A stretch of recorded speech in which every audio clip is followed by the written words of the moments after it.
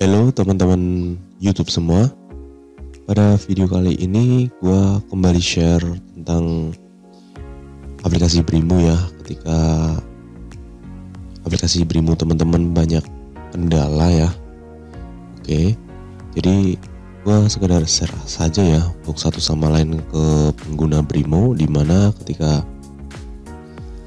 akun Brimo teman-teman tidak muncul untuk sumber dana ataupun proses penarikan tidak bisa ya seperti itu ataupun mengalami kode SIA 9 ya ketika ingin pembuatan akun Brimo ya.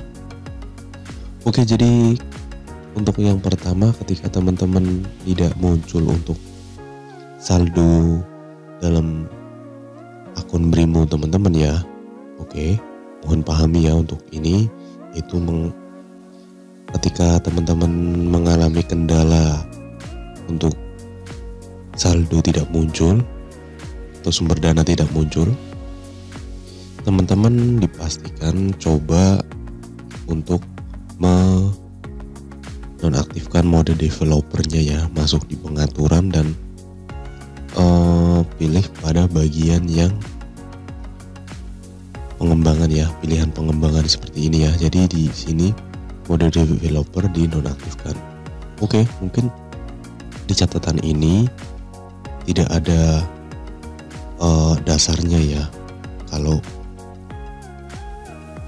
diaktifkan pun harusnya bisa ya secara teorinya mungkin banyak sekali developer-developer yang tidak apa namanya artinya tidak masalah untuk ketika pengembangan ini diaktifkan ya akan tetapi ketika dinonaktifkan dan berhasil uh, terlihat untuk sumber dananya ya atau di bug Brimo itu teratasi ya apa salahnya gitu loh ya.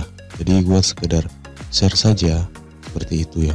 Karena banyak sekali yang menjawab coba dinonaktifkan saja untuk mode developernya seperti itu ya. Karena memang itu ini menjadi bug di aplikasi Brimo itu sendiri ya ketika saldo atau sumber dana teman-teman tidak muncul ya seperti itu. Oke di poin yang kedua ketika teman-teman ingin apa namanya membuat akun dan apa tidak bisa ya mengalami kode SIA 9 nanti teman-teman coba melakukan pembuatan akun Brimo di hari berikutnya ya. Biasanya uh, dalam satu hari tersebut terjadi limit untuk pembuatan akun. Seperti itu teman-teman ya.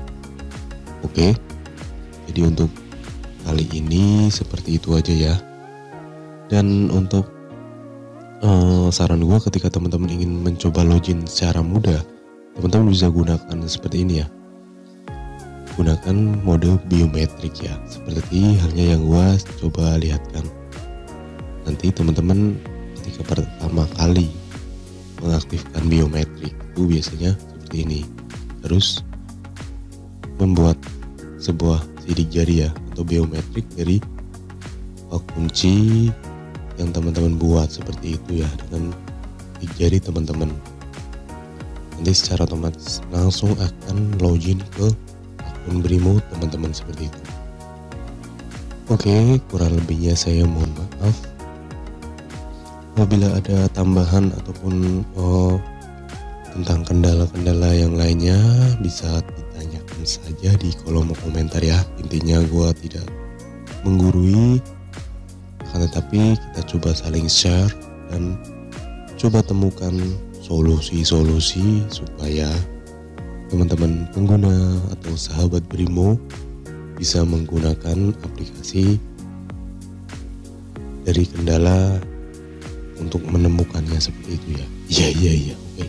Mohon bisa dipahami ya. Oke. Sekali lagi saya akhiri wassalamualaikum warahmatullahi wabarakatuh. Semoga bermanfaat guys.